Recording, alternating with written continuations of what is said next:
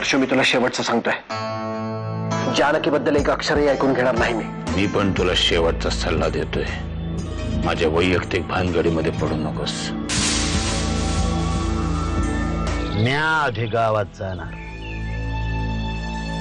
समधी चौकशी करणार. आणि समज व्यवस्थित असल तर तुला न्याय येणार. ताई आपण हिचं नाव आहे ना? प्रियंका ठेवूया हा. अरे वा आता हिला पण हिरोईन करणार आहेस का तू? अहो त्या प्रियंकाचे पिक्चर असले की टीव्हीला पालीसारखं चिकटून बसतो येडा. म्हणूनच तर प्रियंका आता मी पण हिला असंच घेऊन बसणार आहे. राजनचं घर हेच आहे ना? होय होय हेच. काय झालं? आज काय करता गंगा मावशी गेली ना सकाळी.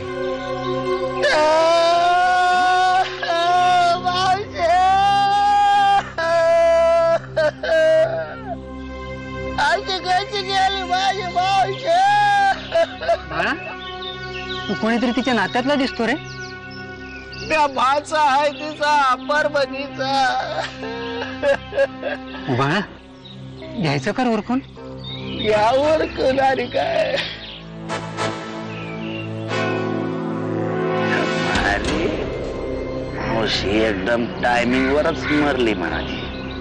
एकदम परफेक्ट एक्झिट रागीत घडावर तेल उकडलंच म्हणून समजायचं. जानकी आणि तिच्या आई वडिलांमुळेच गंगा हाय खाऊन मेली. बस झालं तुझं. तुझ्या तोंडचा पट्टा बंद कर आधी. माझं तोंड बंद करालो पण गंगानं आपल्या पोरीला शाप दिला त्याचं काय? माझ्या पुरीनं कुणाचं काय घोडं मारलंय? त्यातलं तिला काय बी माहीत नाही. पण हे समजा झालं ते तिच्यासाठीच ना. म्हणून म्हणते. आता तरी माझं ऐका. आता तरी तिच्या अंतदर्शनाला जाऊ द्या. मरता मरता त्या किल्लेदारासने शिव्या शाप देतच मेली म्हणे. आई मी नालायक आहे आई. मला माहिती आहे तू माझ्याच पुढे गेलीस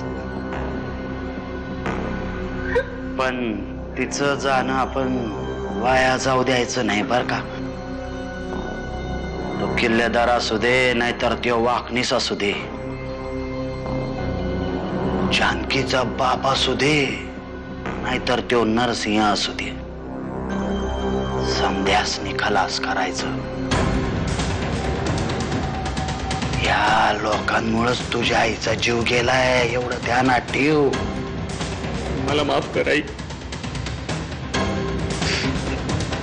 हे सगळं सगळं माझ्यामुळे झालं काय ग? पक्क्या घरात आल्यासारखी काय बघते अगं हे तुझंच घर आहे. पण शोधतेस कोणाला? आम्ही सगळे तर इथेच आहोत. हम्म. ही जी काही ओवाळणी झाली ना आता ती काहीच नाहीये. तुझी खरी ओवाळणी आता आतमध्ये होणार आहे.